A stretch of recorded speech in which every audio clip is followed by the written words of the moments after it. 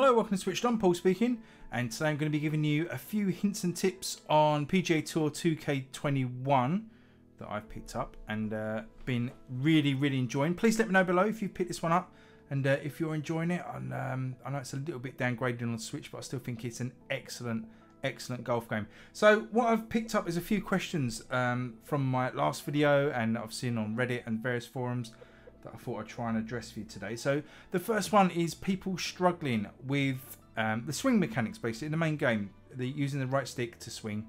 Now this is probably one of the biggest tips, and this works across all systems. Now going to training across the top menu, and you'll it's kind of hidden away, and the game doesn't really explain this at all. But um, I found this out, and uh, it really, really helped me. Right, so you want to be going into swing calibration, which is on the uh, the pause menu here.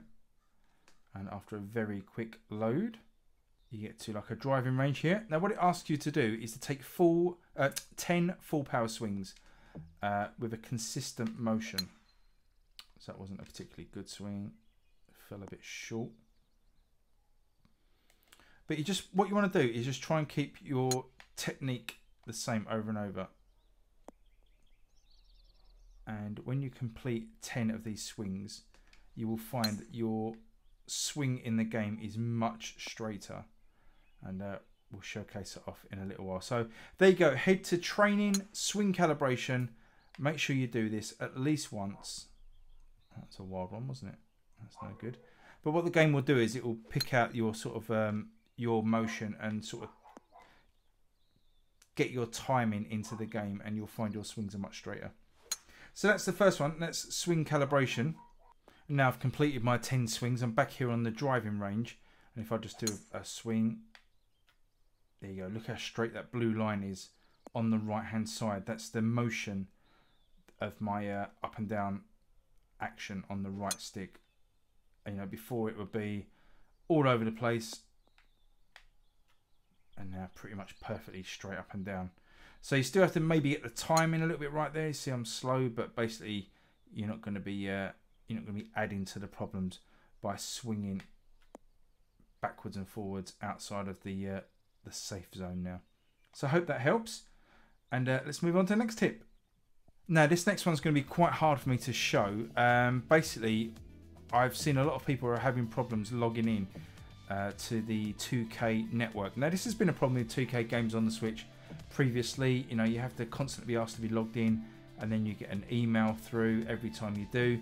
Now, what you want to do is, as I say, I've already um, fixed this on my system, so I can't replicate it now.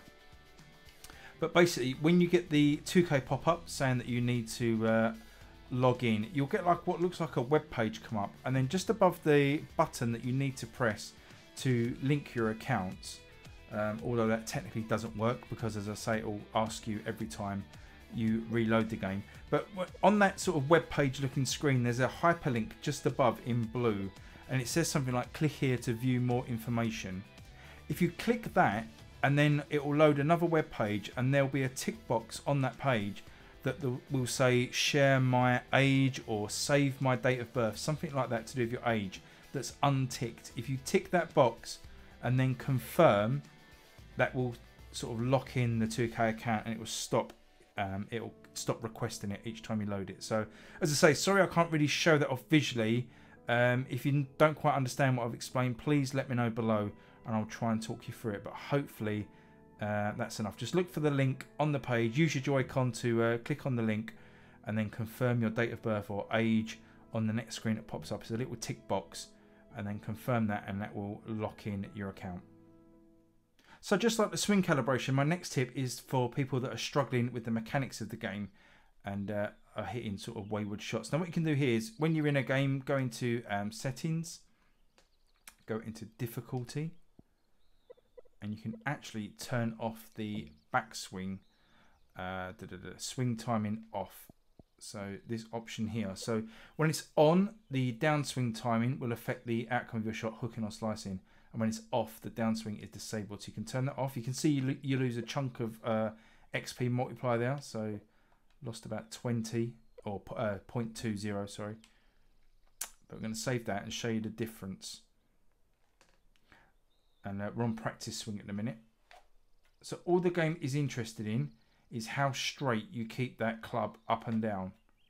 Doesn't care about the timing anymore, the transition between the down to upswing. And if you've uh, combined this with my tip about swing calibration, you can see that how straight the blue line is on the right hand side. So if we come off a practice swing by clicking in the right stick, Great and if we uh, just take a swing down onto the fairway here. So the game doesn't care about hooking or slicing now. It will just hit a straight shot as long as you hit a uh, hit a straight shot up and down. And if you've done your swing calibration, you should be able to.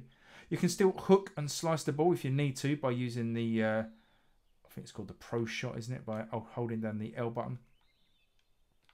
You can shape your shot here so you can see we're uh, fading it away there. But again, it doesn't matter, just up and down. See on the right hand side, that's a straight up and down shot. So all you need to worry about is just up and down don't have to worry too much about your timing uh, at all. And there you go. So that might help you get around if you're struggling with the mechanics and you end up uh, hooking into the trees with every shot. Sweet. Uh, and you want to just okay. enjoy the game a little bit better. There you go. Hope that does help. And just while we're on the green here, I'm going to show you how to turn the flag on and off. You can press the X button and that toggles the flag on and off. But some people that I've seen, even that's too much for them and they want the flag off permanently. So again, if you come into settings, and this one is under difficulty, and if you scroll right to the bottom of that menu, you will see pin preference. You can turn the pin out or in. So say you can manually do it with the X button. So if we put it on out, it should start hidden like that and then we can press the X button to turn it on and off. But if you always want it off, if your preference is always to put it off, you can change that there in the settings. And that's your par. And this last one, um, I saw people talking about this a lot when the traders were out and we are seeing pre sort of release footage. And that is the ball trail. I already covered this in my last video, but if you've not seen that, uh, firstly, why not? Please go and check that out. Um, but yeah, if you don't like the ball trail and it is very ugly and off-putting, I mean, it doesn't really affect the game, but it's just, you know, not very nice to look at. And you can toggle that off. So if you go into the settings menu with the plus button, and it's under display and HUD, and then you'll see uh, da, da, da, show ball trail, and you can have it either on permanently, on only when you take a tee shot, or off I like to set it to off. And now when you take your shot, boom, just nice and clean. You just see the ball just like on TV. So there you go. There's a few tips there that I hope will help with your experience on PGA 2K21.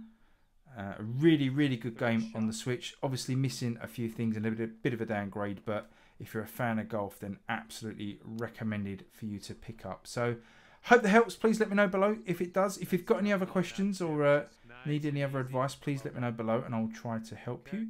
But until then, please leave me a like if you enjoyed the video. Please subscribe if you're new and I will catch you all next time. Thanks everyone. Bye bye.